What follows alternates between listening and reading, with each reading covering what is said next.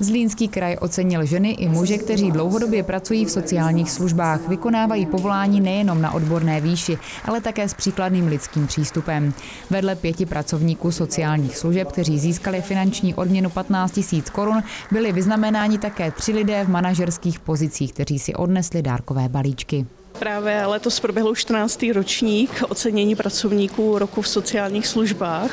Já musím říct, že jsem ještě plná emocí, protože my jsme vybírali ty pracovníky, kteří třeba dlouhodobě pracují v sociálních službách a, nebo třeba se věnují velmi specifické cílové skupině a ono, sociální služby jsou oblast, kde by si to ocenění zasloužili opravdu bez pochyby všichni.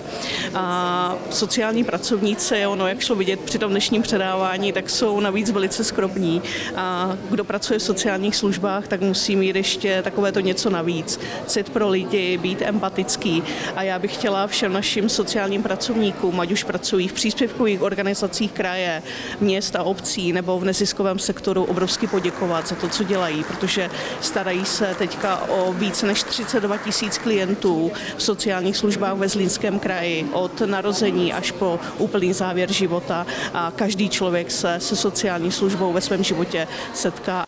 Ocenění se dočkali Eva Čechmánková, pracovnice asilového domu svatého Vincence ve Starém městě, dále Olga Hrdinová, působící v domě pro osoby se zdravotním postižením Staré město, Otakar Jeníček, který vykonává činnost pracovním týmu osobní asistence Zlín, Sonja Nemečkajová, pracující v domě pro osoby se zdravotním postižením Kunovice na Bělince. A Vendula Otrubová, která působí v domě pro seniory u Moravy v Kroměříži. Mimořádné ocenění Rady Zlínského kraje získala ředitelka střediska rané péče Eduko Zlín Dagmar Machová, dále Dana Rozehnalová, vedoucí týmu zdravotníků v domě pro seniory Burešov ve Zlíně a Sonja Zelíková, vedoucí organizace vzdělávací a komunitní centrum Integra v Setín. Jsem rád, že jsme vytáhli si ty lidi z toho, z toho celého kraje. Jejich příběhy jsou zajímavé, ale kde se tam spojuje, nebo co se na nich spojuje, hlavně to, že jsou oddaní tomu oboru, nechali v něm celý život a jsou příkladem pro ty ostatní, jak, jim, jak, se chovají, jak se chovají a jak se starají o ty ostatní lidi.